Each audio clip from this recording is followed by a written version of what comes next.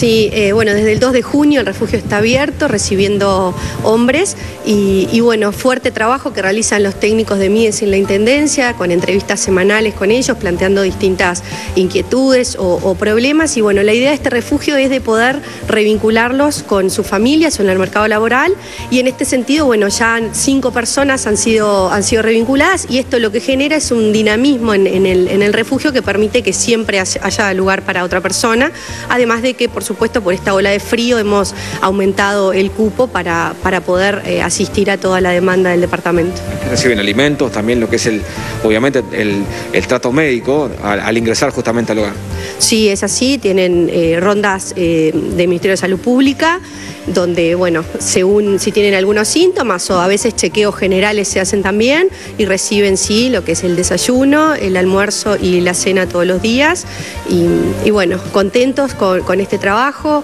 Eh, ahora también les, les incorporamos a mm, distintos talleres, van a, e, entre ellos se van a enseñar a, jugar al ajedrez, algunos talleres de lectura, filosofía, les estamos organizando de deporte, cosa de que todos los días en la semana tengan alguna actividad para realizar y bueno, se mantengan en, en actividad.